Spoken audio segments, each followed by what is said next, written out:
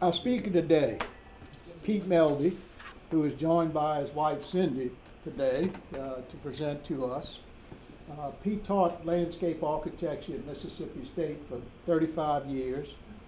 Uh, as part of his classes, he worked on coastal edge projects creating natural beaches in Harrison County and worked towards restoring the salt marshes which once lined the beachfront. For their work on the Mississippi coast, um, Pete and a bioengineering professor by the name of Cathcart were awarded the Gulf Guardian Award by the EPA. Uh, in 1918, he was named Conservationist of the Year by the Daughters of the American Revolution. 1918? 2018, thank you.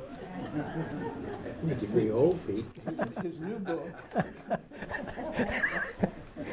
critics are wonderful.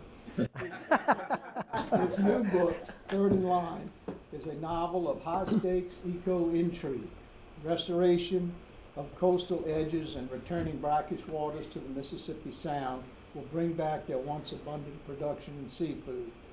A, as the book reviewer, Candace Cox Wheeler with USA Today Network said the Mississippi Clarion Ledger newspaper, by the time you finish this novel, you will find yourself so immersed in your surroundings you will identify with the character who said, We flew with the pelicans, and waded in the shallow marshes with the blue heron.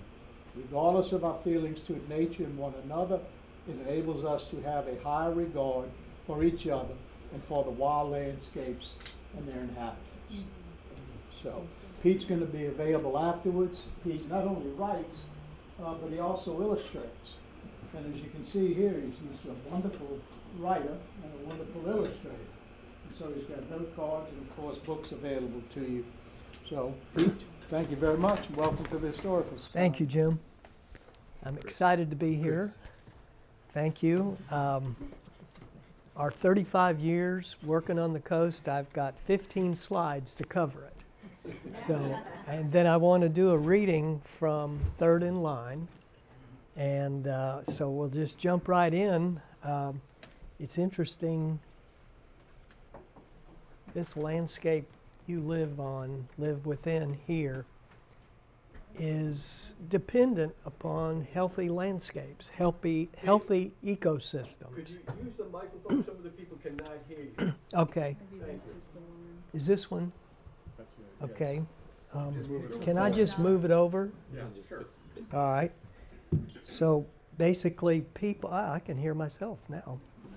Uh, be, people are dependent, this area is dependent on healthy ecosystems. And if you just look at just a little bit of variety that you've got here, it's no wonder people all want to come to the coast and uh, enjoy the amenities down here. So when we were first starting at Mississippi State, uh, we were invited down by Tommy Munro and Judy Steckler, and uh, we wanted to work with the beach, and they wanted us to. And so the students, first of all, thought, wow, a heavy seawall and then sand and nothing else. And that needed to change. And uh, there was then the idea that, okay, we can break it up a little bit with something green, but not too much, because this needs to look as neat as our backyard. And they did allow us to plant dunes and introduce sea oats uh, and bring in some cabbage palms and some native plants, and it began to make the beach more comfortable for people to be there. But interestingly, the beach, when it had native plants, stayed in place more. And that was a big deal because every eight years, the little red area there, Harrison County is having to redo their beach at $11 million. And it blows away and washes away. And the main reason is there's no native plants on the beach. So uh, another cost, 30000 a year to sweep the sand off the highway. The sand blows across the barren beach, up the seawall, and onto Highway 90. And then three million a year for the sand beach department to take their heavy equipment out there and rake the beach. And uh, that's a real issue because that compacts the sand, water doesn't drain into the sand, and any rainfall then washes it into the Mississippi Sound. So we worked with them on all of that, and uh, they were okay with it. You know, it's a slow take. Uh, everybody wanted it to be neat like their backyard. The next thing we looked at were salt marshes. The, the beachfront used to have salt marshes. If you look at the old paintings by William Woodward and the old photographs, there were salt marshes, uh, intermittent up and down the beach. So we figured out how to grow salt marshes. We used, we developed these, uh, we took erosion control netting, wrapped it up, put it in there to break the waves, and then that enabled the salt marsh grasses to establish behind there. And it, didn't take long until the uh, people were attracted to the areas that had the green marsh plants. The uh, people with the Sand Beach Department said uh, during high tide they could catch the fire out of flounder between the salt marsh and the, uh, the sand. And you look at the incoming waves and see how the beach was not being eroded, and instead, the, wherever we had salt marshes, the beach was wider. Um, that was exciting for us. Now we found when we this is at the the uh, the uh, Schooner Pier, if we tried to put the salt marsh grasses on the land and let it walk in there, they would not do that. That's the weirdest thing. If we took and planted them in the water, they had no problem and they flourished and went out into the water and uh, helped to hold the sand and create more beach. So the next thing we went to Deer Island and we did that in three or four places there and we're having good luck. And then uh, we both retired and the money ran out and uh, but uh, the plants live on. So it's sort of like some of these elaborate sand sculptures. They're beautiful. The beach, after they they rake it and make it look good, is beautiful, but it washes away. And it, it, you've got to have a natural beach uh, to hold that sand, and uh, that's uh, an issue. So. I wanted to share that with you. And now I want to tell you about this. Then Victor Mavar over in, oh, I can put this in here, I'll bet, in Biloxi has been a proponent of bringing back the seafood to when Biloxi and the coast was the seafood capital of the world. And that's been a real challenge because things have happened like what we just saw. We lost our salt marshes, and um, we had water wars with Louisiana, and the uh, water in the Pearl River was diver- diverted to the Louisiana side in 1918, and it flowed from there to the Gulf of Mexico instead of through the Mississippi Sound. You know, the solutions, according to the the uh, scientists are, are there, they're very obvious, but we've got the politics, always the politics to deal with. And so that stimulated this book. Mr. Mavar died not too long ago, and he, oh, he just worked really hard to, to bring back uh, the oysters. So we, while he was alive, though, we did bring back the Lake Pontchartrain Basin Foundation scientists with the DMR people, and they were talking over the table, and there was some promise that things could happen to bring Louisiana and Mississippi back together, and um, but that didn't last. But at least the seed is planted. So I decided, well, my last resort is to write this book, Third in Line. I'm not going to tell you what third in line means. You'll have to read it. But I'm going to, if I have Chris just a about five minutes? I do have five Go minutes, right ahead. Okay, I'm watching my time. Dr. Codling said uh, they start throwing things if you if you go over your time, but now, I don't see that in this crowd. So, uh, so this is chapter two.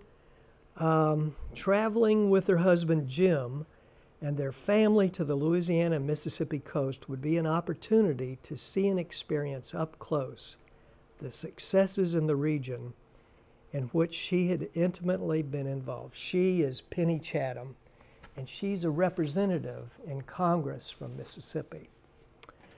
Achievements in the three years have been so exceptional that they were being featured on regional news programs. She, she plays her cards and she becomes Speaker of the House. And in the acknowledgments in my book, I talk about strong women. And I think, from what I've seen, mothers from the South are strong. They had to be strong for a variety of reasons. So she's a strong lady.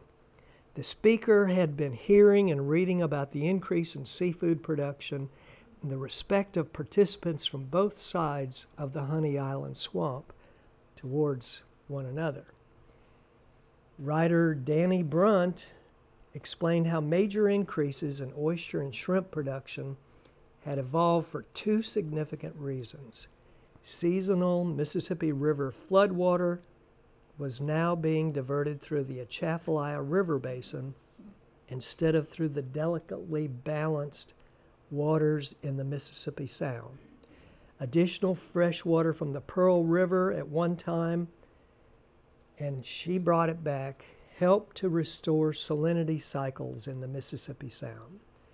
The resulting brackish water cycles fluctuated between 8 and 13 parts salt per thousand parts of fresh water.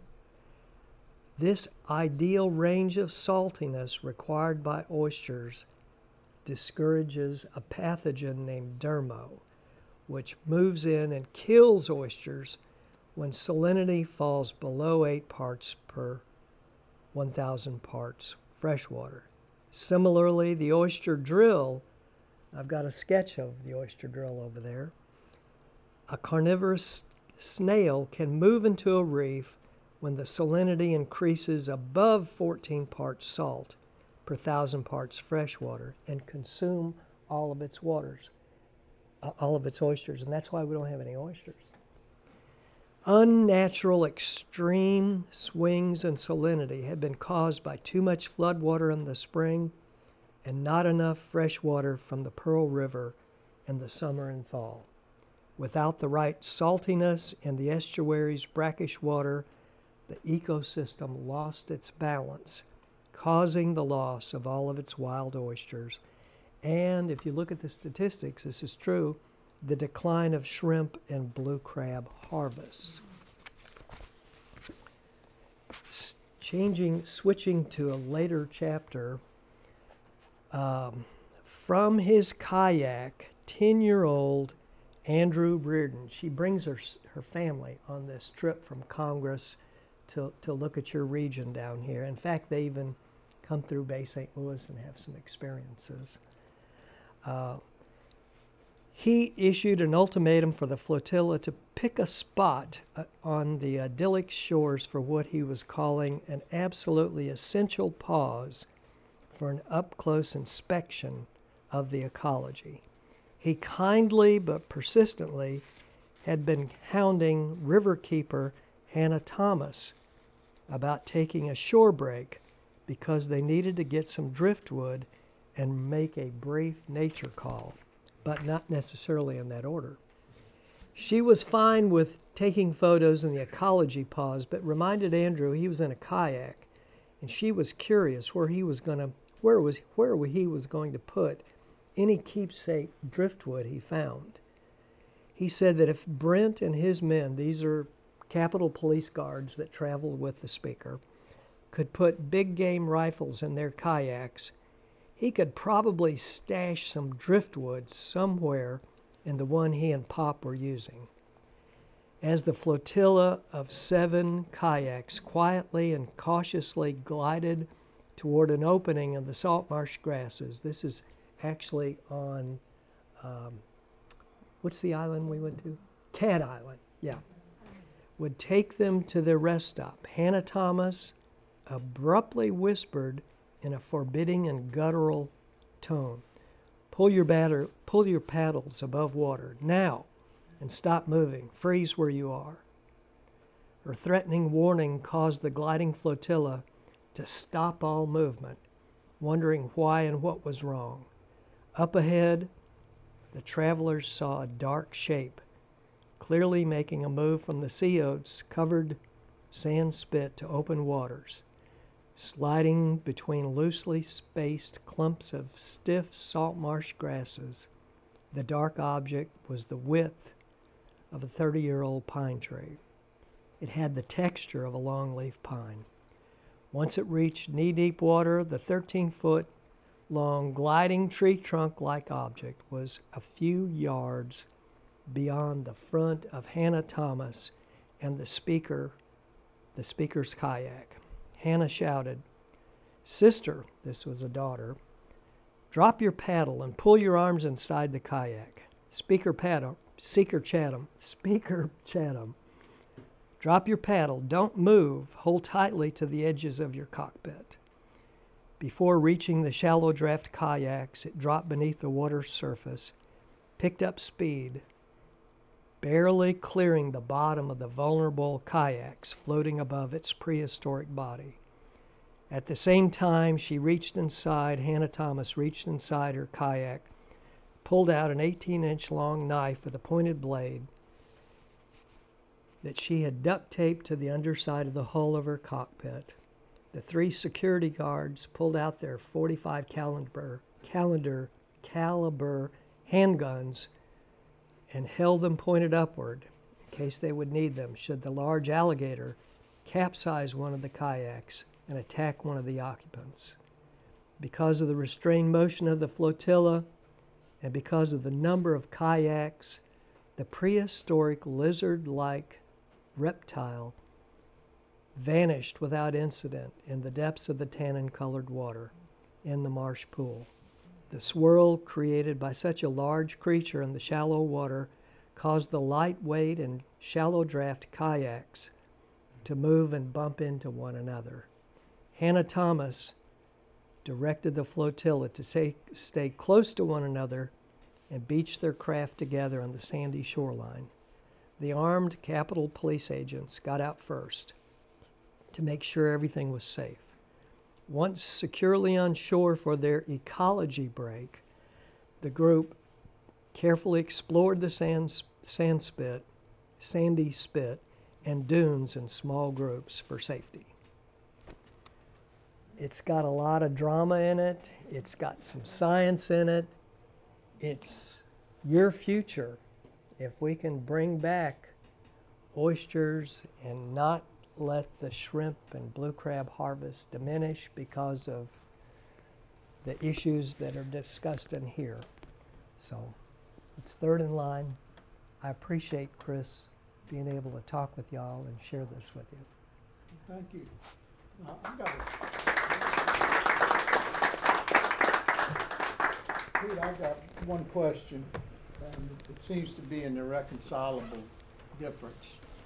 In the building up of the marsh, the popular opinion is we have to have more fresh water, divert water out the river to get the sediments in to build the marsh back up. As a result of all that fresh water, what you cite in your book, of course, happens to the seafood industry, has an adverse effect on that. So how do, how do we achieve protection of the coast and grow these salt marshes and do all that and at the same time maintain our fisheries? And you, you only have an hour and a half Yeah. Well, first of all, we built sa- salt marshes that were 30 feet wide based on what used to be here 10, 15 years ago. That's when we first created our salt marshes. So we didn't have to have a difference in water uh, to, to make that happen. And interestingly, Chris, salt marshes, the Spartina alterniflora emits a chemical it, through a tech, through a, a science technique called allelopathy, and that chemical keeps uh, the uh, snails away from the salt marsh, so the salt marsh is healthy. So salt marshes don't eat, get get eaten by the any of the snails. We also looked online, and it was interesting because we didn't start having an issue with the flesh-eating bacteria according to the, the internet and citations we found there. It's not a scientific deduction because we didn't thoroughly search it, but we just looked. There were no, we didn't have the flesh-eating bacteria until the salt marshes were gone. And so maybe the allelopathy was also helping with the bacterial exchange. In terms of the water, uh, oysters have a certain range. They'll grow in, in salt water 33 parts per thousand salt, but they won't flourish there. And their ideal range is 8 to 14. And until we can get the water cycling closer to what their natural habitat requires, we're not going to have oysters anymore. And uh, we can do that. We can work with the Pearl River. Of course, the Pearl River right now, they want to build another reservoir above the uh, Pearl River.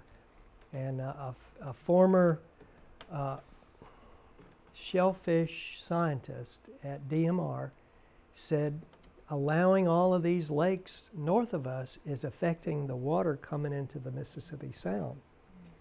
And then in 1918, when Louisiana pushed to divert the, the Pearl, the, according to what I've read online, the, the idea was Mississippi would get half the water and Louisiana would get half.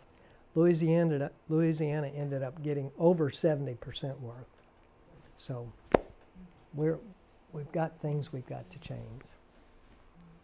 Yes, sir. What relationship is there between uh, channelization in the rivers, Mississippi River on up, the Corps of Engineers, levees and so forth, and the destruction of the coastal areas, if any? Which rivers? Mississippi, uh, any and all? Yeah. Yeah. Well, I would say, I would say there's an in, impact, but I don't know what it would be. I do know that when they channel around the uh, barrier islands, you get a, a much greater. The scientists say you get a much greater influx of fresh water, which has helped to uh, make the water cycle not what it should be. We another scientist said we now have sh- uh, sharks breeding in the Mississippi Sound because of the water salinity level, whereas we didn't used to have that happen. So,